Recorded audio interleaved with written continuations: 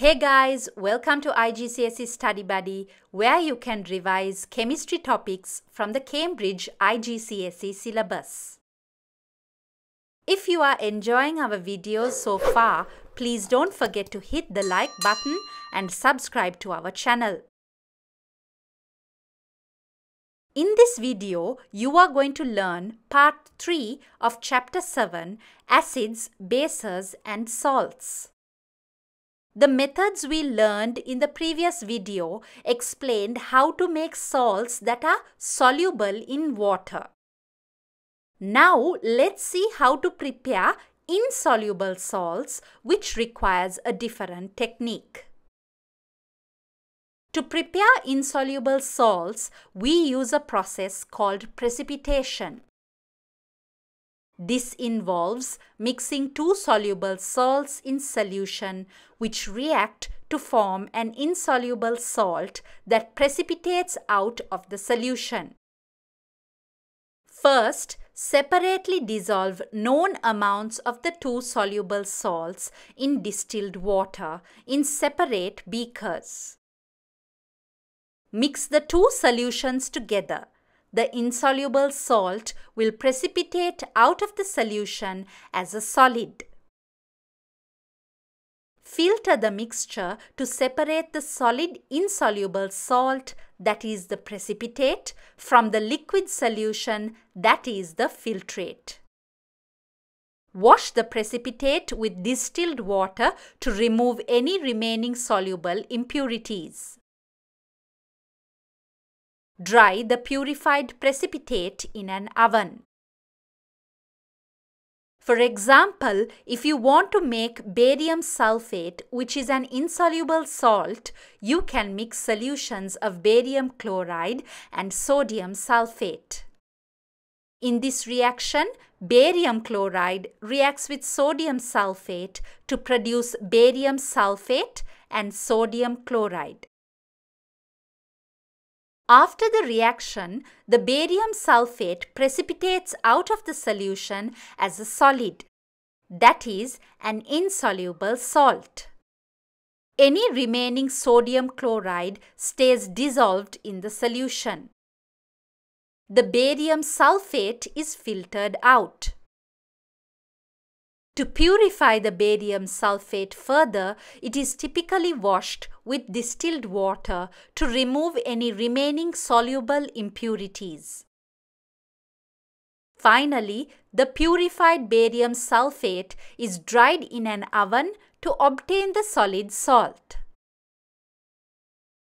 Now let's learn the general solubility rules for salts. All sodium potassium and ammonium salts are soluble.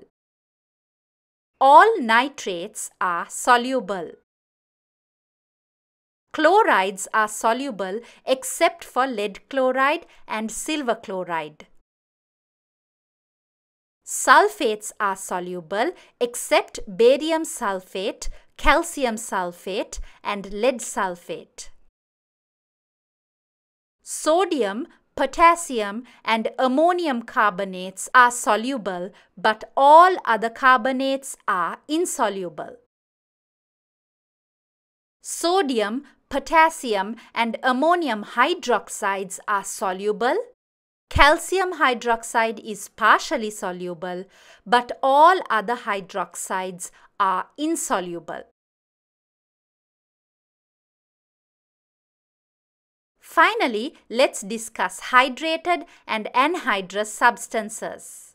An anhydrous substance is a substance containing no water. Some salts like sodium chloride form crystals without water when they crystallize. However, Many salts absorb water molecules and become hydrated during their crystallization from solution. This means that when salts are made, water can be trapped inside their crystals. A hydrated substance is a substance that is chemically combined with water. Example, hydrated copper 2 sulfate. This water in the hydrated substance is referred to as water of crystallization. So, water of crystallization is the water molecules present in hydrated crystals. Examples include hydrated copper 2 sulfate and hydrated cobalt 2 chloride. Both compounds contain water of crystallization. As you can see, when writing the formula of hydrated substances, we separate the chemical formula of the salt from the water molecules with a dot. This water is not simply physically trapped, but is part of the chemical structure of the crystal. When you heat hydrated salt like hydrated copper 2 sulfate, it turns into anhydrous salt that is copper 2 sulfate and releases water. This change can go back and forth so it is a reversible reaction. That concludes Chapter 7 Acids, Bases and Salts. Are you enjoying our videos? Are they helping you? Here's a way you can show your appreciation and support our continued efforts. You may use YouTube Super Thanks to send us thanks. Hope this video helped you Please share your thoughts in the comments section. Be sure to check out our other videos from our playlists. Thank you for watching and please don't forget to subscribe to IGCSE Study Buddy for more revision videos. Bye.